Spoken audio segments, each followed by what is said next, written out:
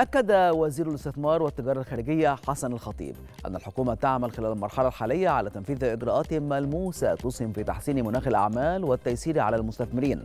جاء ذلك خلال استقبال الوزير سفير المغرب بالقاهرة محمد آيات حيث تناول اللقاء سبل تعزيز العلاقات الاقتصادية المشتركة بين البلدين.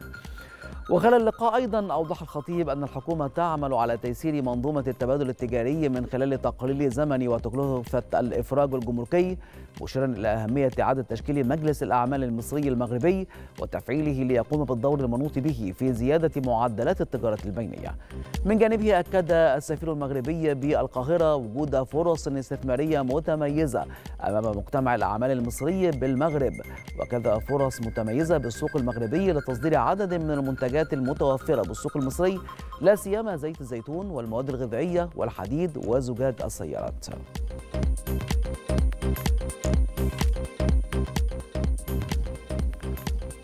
سجلت مؤشرات البورصة المصرية أداء متباينا لدى إغلاق التعاملات وسط عمليات الشراء من قبل المؤسسات العربية والمحلية والمستثمرين الأفراد والأجانب. وارتفع رأس المال السوقي لأسهم الشركات المقيدة بالبورصة نحو 13 مليار جنيه لينهي التعاملات عند مستوى تريليونين و182 مليار جنيه. وسط تعاملات كلية بلغت 99 مليار جنيه و100 مليون جنيه.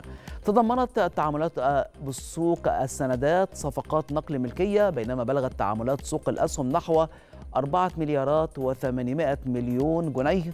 وعلى صعيد المؤشرات انخفض المؤشر الرئيسي للبورصة المصرية EGX 30 بنسبة 6 من المئة بالمئة ليبلغ مستوى 30427 نقطة.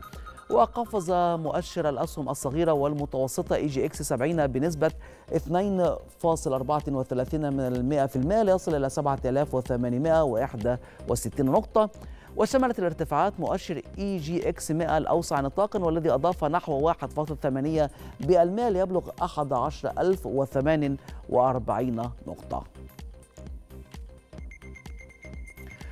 توقع صندوق النقد الدولي أن تشهد مؤشرات الاقتصاد المصري تحسنا حيث يتوقع أن ينمو الناتج المحلي الإجمالي الحقيقي في مصر من 2.7% في عام 2024 إلى 4.1% في عام 2025 وعلى صعيد التضخم توقع الصندوق أن ينخفض معدل التضخم إلى 33.3% في 2024 قبل أن يصل إلى 21.2% في عام 2025